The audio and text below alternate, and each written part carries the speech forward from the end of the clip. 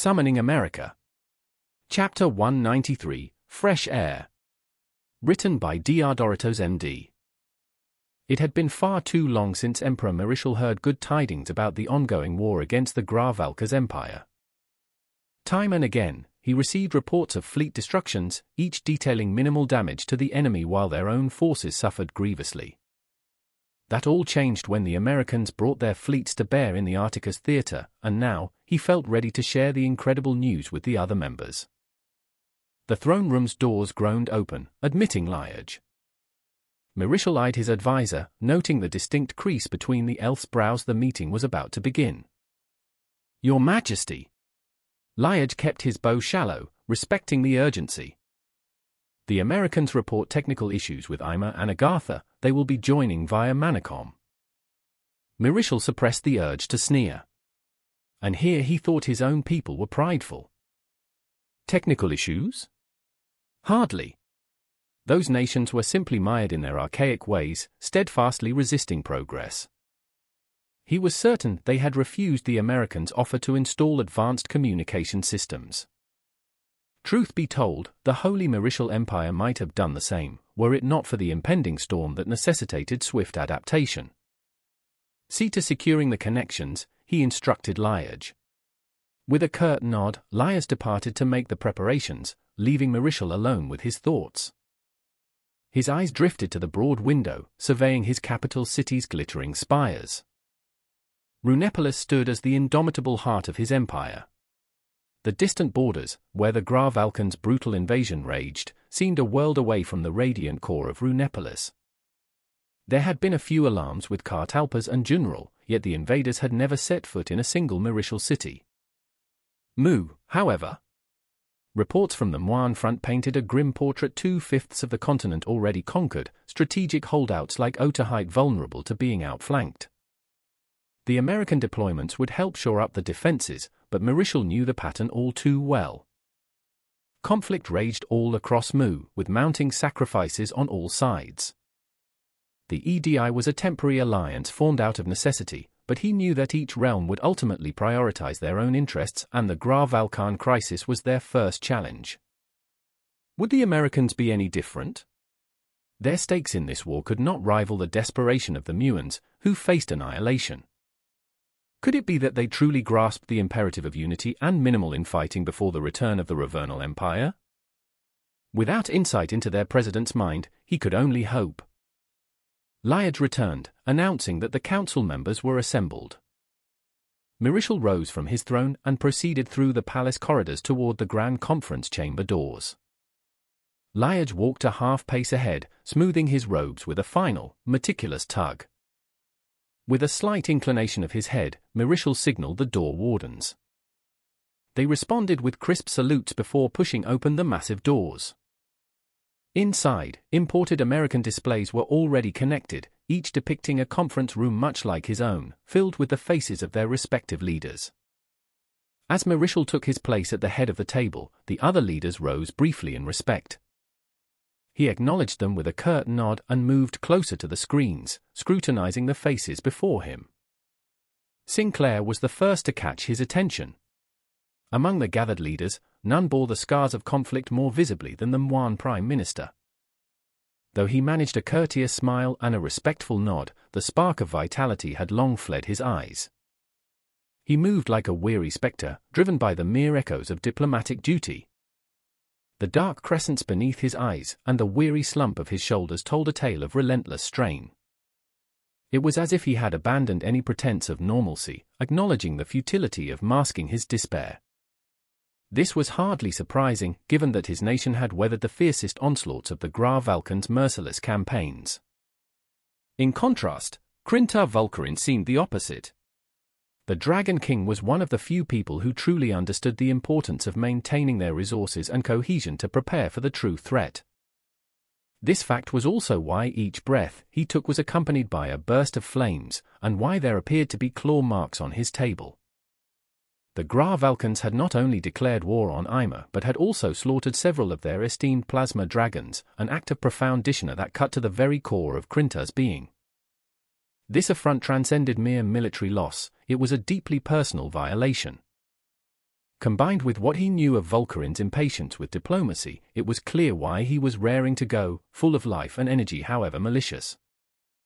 The other attendees, from Agartha's Jaistula to the Central Kingdom's Ruvent Larret and even the Parpaldian Republic's President Chios, all bore a mix of expressions, ranging from neutral poker faces to uncertainty and weariness. Regardless of what they thought, he was certain that the coming news would be a breath of fresh air to them. Lyage stepped in front of the camera, ensuring he was in the center of the screen.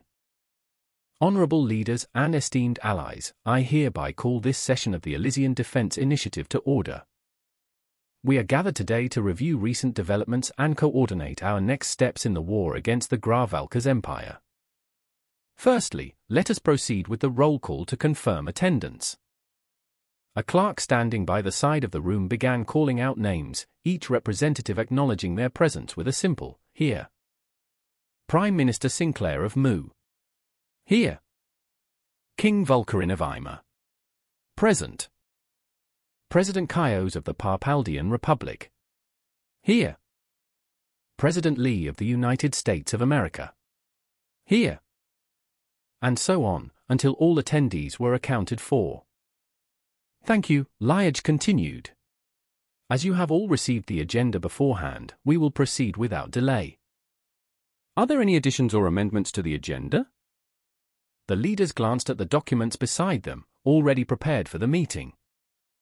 When no objections were raised, Lyage nodded. The agenda is approved as presented. We shall now proceed. Mirishal rose, feeling all eyes turned to him. Members of the Elysian Defense Initiative, we bring tidings of great significance from the Arcticus theater. The Graavalkas Empire has been decisively driven from the Arcticus Ocean by American forces, ensuring the security of our continent. This moment marks a crucial turning point in our campaign. We must now discuss how to seize this opportunity and further diminish the enemy's strength.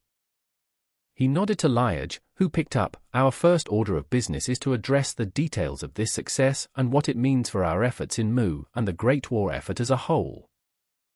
Secretary Hill, if you would. A black man on the American screen stepped forward, clearing his throat. Visual simulations and slides accompanied his report, filling the American screen. Members of the Elysian Defense Initiative, I will now provide an update on the situation in the Arcticus Ocean. Just days ago, Admiral Locklear and the Fifth Fleet engaged the Graavalkan Third Conquest Fleet, led by Fleet Admiral Vostok. Despite the Graavalkans' attempts to employ new countermeasures, our advanced missiles proved decisive we destroyed over 60% of their carriers, compelling Admiral Vostok to surrender.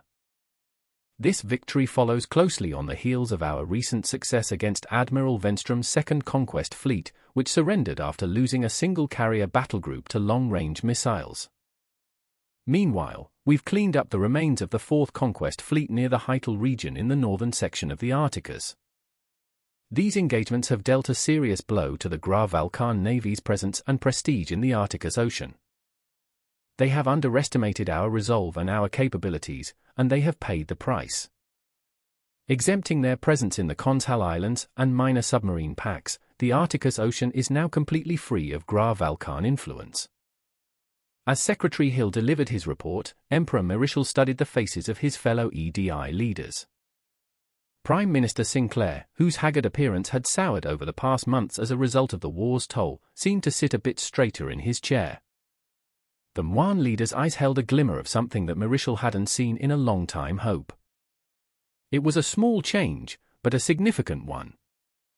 The news of the US victories had certainly sparked a renewed sense of possibility in the beleaguered Prime Minister. For the first time since the onset of the war, they now had the chance to go on the offensive and focus on reclaiming lost territory rather than mere survival. King Volkarin, on the other hand, seemed unsatisfied, like what the Americans accomplished wasn't enough. The Dragon King's claws dug into the armrests of his chair. There was blood in the water, and if Mirishal knew that much, then Volkarin must sense so much more. He could only imagine the frustration Volkarin must have felt, knowing that the Graavalkans escaped justice by surrendering to the humanitarian Americans. he was sure of it, what Volkarin truly craved was swift and brutal retribution against the Graavalkans. Marischal understood Volkarin's tempered rage, but it would be asking for too much. Whatever the Americans were doing was already exceptional, more than they could ever ask for. It would behove them not to interfere with their efforts, especially if said interference involved war crimes and the subsequent deterioration of relations with the Americans. As the secretary continued his briefing, Marischal found himself wondering about the impact of the war and what would happen after. It was interesting that such a thought came up, planning for the aftermath like he already knew the outcome. Granted, the Americans did wipe out for conquest fleets while sustaining no damage at all. So, what would happen next? What should happen next? The Americans told him of the follies of their World War I. Reparations would certainly be demanded of the Graavalkans, but he couldn't overlook the fact that their industries and infrastructure would be incredibly useful in their fight against the Anomrials should it ever happen and the Ravernals. He'd have to consult with the others on this matter another time. Secretary Hill continued his briefing, but we're not content to simply rest on our laurels. As I speak, the 7th Fleet is on its way to establish a forward operating base in Otaheite and land a contingent of Marines, in close cooperation with our Muan allies. While the 7th Fleet deploys the 31st Marine Expeditionary Unit, the 5th Fleet will deploy its own 26th MEU. This base will greatly enhance our ability to monitor and respond to any further Graavalkan aggression in the region. Over the next few weeks, we plan to reinforce our position with units from the 101st and 82nd Airborne, including armor elements and aircraft. Additional details are provided in the supplementary material alongside your agenda packets. Director Lyage, the floor is yours. Lyage nodded.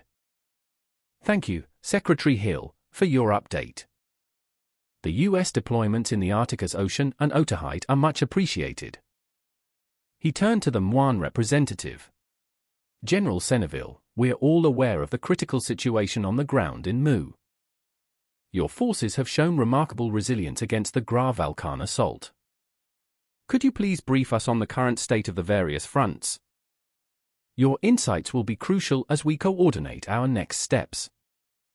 With that, Lyage handed the floor to General Senneville. The Muan commander rose to address the gathering. The room fell silent, all eyes on him as he prepared to deliver his report. American maps and animated visuals accompanied his words. Gentlemen, I'll not dally. The situation on the ground is critical. The Graavalkans have made significant gains on multiple fronts, thanks in part to their mechanized units and paratroopers. In Dernsbury, they managed to secure the railway before our forces could sabotage it, allowing them to push deeper into the Malmend front. They are currently engaged with our defenders in the Malmend Mountains. On the Oster front, our forces are locked in a battle of attrition, and we are losing ground. The recent loss of Brulliard Heights and Verdum Field has put the Graavalkans halfway to Michael. Without reinforcements, we'll be overrun by March. Seneville leaned forward slightly. His eyes were directed at a side screen rather than the camera, as if he was speaking to a specific faction likely the Americans. Our forces are overextended and in dire need of reinforcements and supplies. We cannot stress enough the importance of swift and decisive support from our allies. With a heavy sigh, he took a step back. I yield the floor. Director Lyage nodded. Thank you, General Senneville, for your report. He turned his attention to the assembly. The Americans' recent victory in the Arcticus Ocean has indeed shifted the momentum in our favor, but as General Senneville highlighted, our forces are stretched thin. Immediate reinforcement and resupply are critical. Lyage looked directly at the leaders, both present and remote. I now invite the members to discuss how we can best solidify our defenses in Mu and buy as much time as possible for the Americans. Your insights on logistics, troop deployments, and resource allocation are vital. He paused, then added, Grand Mage Maeskra, perhaps you could start with your assessment of Agartha's reinforcements.